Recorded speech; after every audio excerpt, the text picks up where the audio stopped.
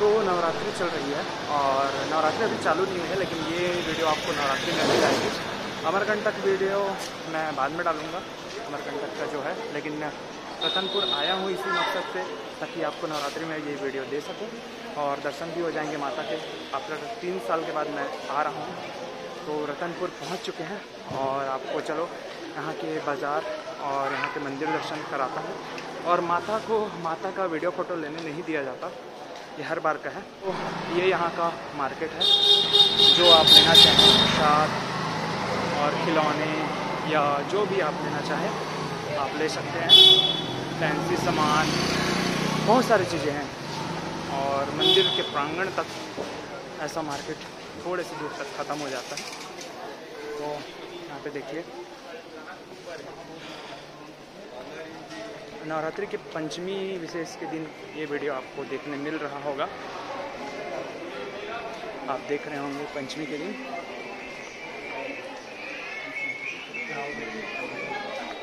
तो ये तालाब जो पूरा कमल से या खोखमा भी कह सकते हैं, पूरा ढका हुआ है। और देखिए, अंदर भी प्रवेश द्वार से पहले तक मार्केट लगा रहता है। प्रसाद लेना हो जो कुछ भी लेना हो आप ले सकते हैं।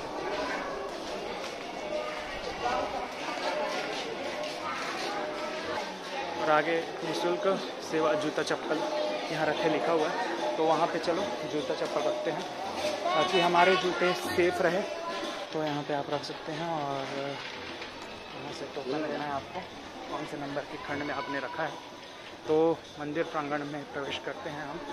तो इसलिए यहाँ से जाएँगे मना कर दिएगा पंचमुखी शिव मंदिर जो इधर है, महामाया वाटिका भी इधर ही है, वो जो पंचमुखी शिव मंदिर है, जो आप देख रहे हैं, मंदिर जो दिख रहा होगा आपको। और महामाया के दर्शन पहले करेंगे शक्ति से, शक्तिपीठ महामाया देवी के, और ज्योति दर्शन, जो ज्योति कक्ष है, वो भी मैं कराऊँगा। नवरात्रि की पूरी तैयारी यहाँ चल रही है, और 26 तारीख से नवरात्रि लग रही है। तो हफ़्ते भर का समय बच गया है। और पिछले बार जब मैं महामाया मंदिर आया था, अमरकंटक जाते हुए, दोस्त के साथ, किशोर के साथ तो उसको क्या है, उस टाइम कंटिन्यू तीन साल तक जलाना पड़ता था। जो उन लोगों के परिवार के यहाँ से जलाते थे। तो उस टाइम यहाँ पे दर्शन और दान करके गया तो यहाँ से हम आपको अंदर ले चलते हैं। और अभी खाली है। नवरात्रि में तांता लगा रहेगा दर्शकों का। भीड़ बहुत ज़्यादा हो जाएगी। तो आपको खाली समय में बहुत अच्छे से दर्शन करा रहा हूँ। बस मनोकामना ये है मेरी कि आपको माता के भी दर्शन करा सकूँ, जो कि वहाँ पे मूर्ति का फ़ोटो, वीडियो लेने के लिए मना किया जाता है। परमिशन लेने का कोशिश करेंगे, ताकि दर्शन हो जाए। और रतनपुर के इतिहास के बारे में आप सभी जानते होंगे। बहुत पुराना मंदिर है, शहर है। तो फ़िलहाल लाइन धीरे धीरे आगे बढ़ रही है। तो ये वाला जो आप देख रहे हैं व्यू ये है और कुछ कुछ देवी देवताओं के मंदिर हैं पुराने। और ये मंदिर बहुत पुराने हैं और ये जो तालाब है छोटा सा, वहाँ पे यहाँ के राजा स्नान करके माता की पूजा करते थे। और बहुत सारे इतिहास तो आपको भी पता होंगे।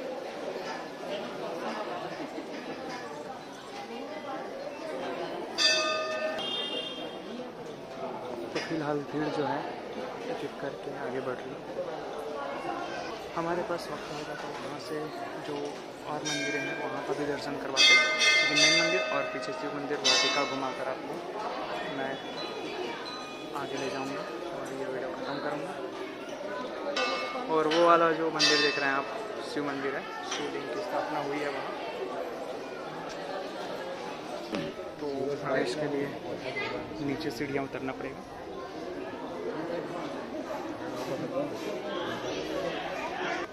और मुझे आज भी याद है 2013 में मैं पहली बार रतनपुर आया था।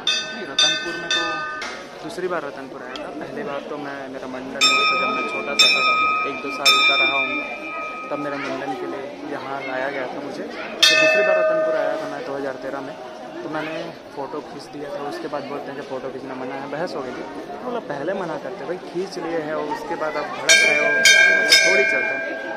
वहाँ पे शायद छोटा सा लिखा था, अब तो शायद बड़ा सा लिख गया अब इसीलिए हम पहले परमिशन लेंगे, फिर फ़ोटो लेंगे।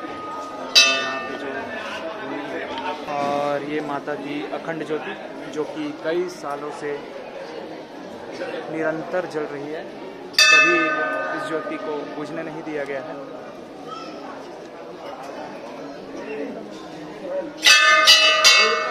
धूप अगरबत्ती अंदर धूप अगरबत्ती ले जाना मना है तो आप इसे जला कर आरती करके पूजा करके पे डालना पड़ेगा। तो जितना मैं आपको दिखाता हूँ आगे तक, और अंदर फ़ोटो और वीडियो बंद रहेगा बंद रहेगा तो मैं आपको नहीं दिखाऊँगा।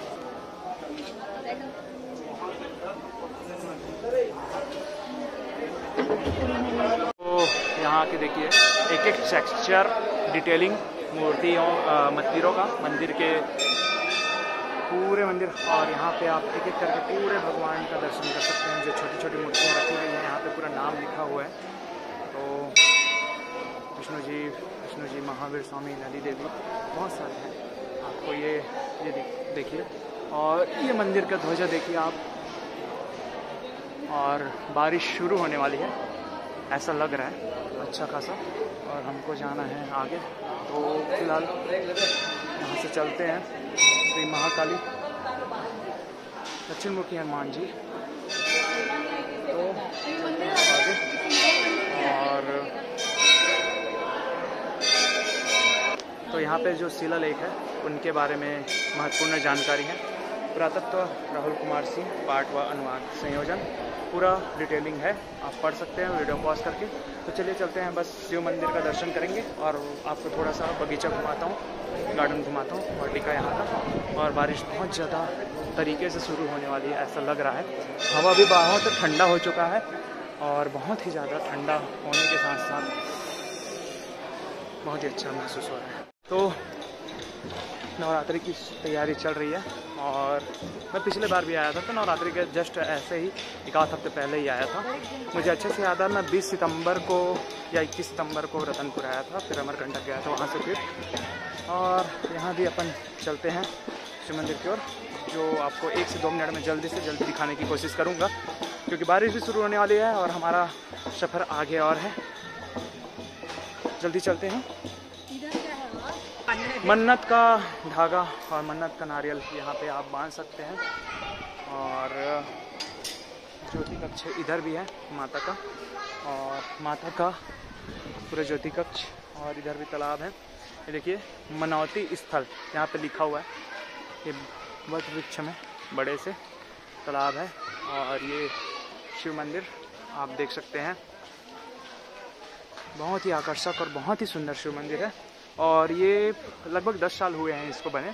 मैं जब 2013 में पहली बार आया था, उस टाइम लगभग बन के तैयार हो चुका था। जहाँ तक मुझे याद है, या जीर्णोद्धार हो रहा था, मुझे नहीं पता, लेकिन मुझे जहाँ तक याद है वही। तो यहाँ पे घूमने दर्शन करने के बाद हम इधर जाते हैं थोड़ा सा वाटिका आपको एक दो मिनट घुमा देता हूँ अराउंड फिर उसके बाद वीडियो एंड करेंगे। और यहाँ पे मंदिर देखिए गार्डन ज़्यादा घूमने के लिए यहाँ बड़ा, उतना बड़ा गार्डन नहीं है और हम देख सकते हैं पूरे नारियल और चीन के पेड़ हैं यहाँ पे। बस बस बस यही देखना बाकी रह जाता है। पूजा, संग फलाना, ढिकाना, ये सब आपको देखने मिल जाता है। पता नहीं।